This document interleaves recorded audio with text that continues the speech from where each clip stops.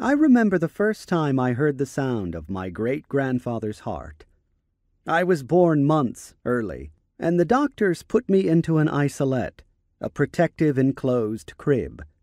I was not often touched, or held, or breastfed, and there I remained two weeks, touched only to be cleaned or bottle fed on a schedule.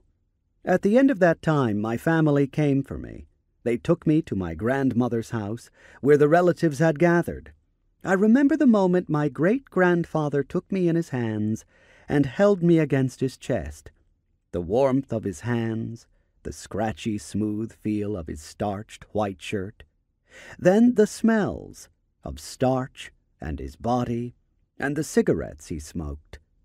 I remember, too, the sound of his breathing, his slow, soft inhale and exhale, and under it all, much deeper, the muffled reverberation of his heart.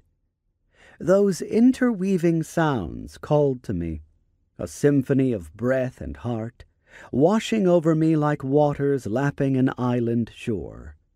His every inhale and exhale pulling me, I moving to their ebb and flow, their rhythms tugging, loosening me, and the shore being left behind. Currents taking me onward into waters I had never known. My outflowing breath, his inhale, his exhale becoming my life. My heart absorbing his rhythms, two beats moving as one. My tiny life was held in the embrace of his older and more powerful waves, and those waves were a language, carrying within them a meaning far older than words, telling me of being wanted and a part of something that would always be, murmuring that in this place was my place, in this heart my heart. But deeper still, under all of that, there was a substance, some soul food that I needed to become human, that came to me in that moment of unity.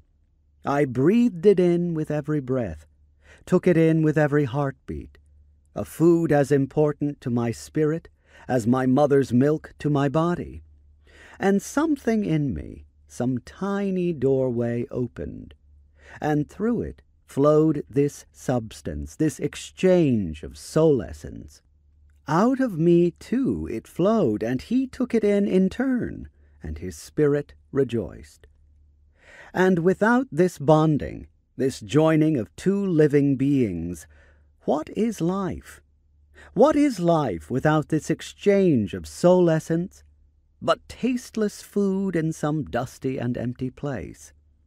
And what are we, then, but abandoned and crumpled newspapers, yesterday's stories blowing down some wind-swept, darkened street?